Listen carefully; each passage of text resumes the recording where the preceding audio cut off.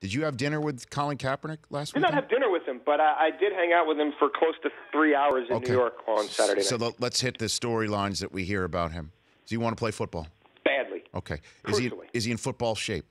He looked it to me, and from some videos and pictures I've seen, Mm-hmm. and talking to his trainer, and looking at his daily regimen, which includes an Uber from New York City to a remote location in Jersey at 4 a.m. every day, so he can get his work in before that park gets crowded, so he can throw a couple hundred balls and then come back to the city and then work out for a couple of hours and then go uptown to Harlem and mentor kids in after-school programs. He looked pretty good to me. Would he take a second, third string gig in the NFL? He just wants a workout, Rich. He told me, like, I understand if I'm this distraction and if they don't want to bring me in their building on a Tuesday like everybody else, I'll get myself to a high school field nearby.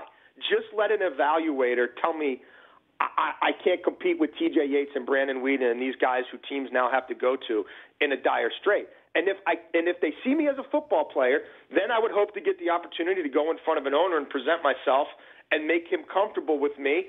And, and then I just want to play football. It's just about he can't fill out the job application, right?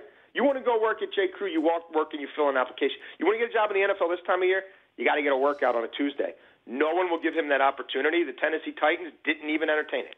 But if if if uh, prior to making a sale at a J. Crew, the national anthem had to be played and you sat for it, the J. Crew folks might fire you, Jason.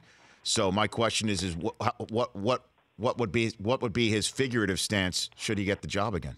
I, I think that would have to be discussed with an owner. I mean, and he gets that. He gets that he's not, you know, going to be the same case as everybody else. He's he's hoping that by keeping his head down, by focusing on his two vocations, football and those advocating for those who maybe don't have a voice or who um, don't have the same opportunities as everybody else, that at some point the need for football will allow him to be evaluated as a football player. And if he passes that test, then he's you know he he's, he would love to talk to owners. He would love to get uh, an opportunity one on one to sort of share where he is and where he's going, and you know to work with them. But I guess the assumption has been the football has to come first, and and to this point, he's you know he he talked to John Schneider, he talked to Pete Carroll, he's talked to John Harbaugh, but that's been the extent of it. The Rich Eisen Show, weekdays at noon Eastern on radio stations across the country and audience. If you like that video, be sure to download our app, and I'll be sure to move Week Six games to Saturday for that wedding you have to go to.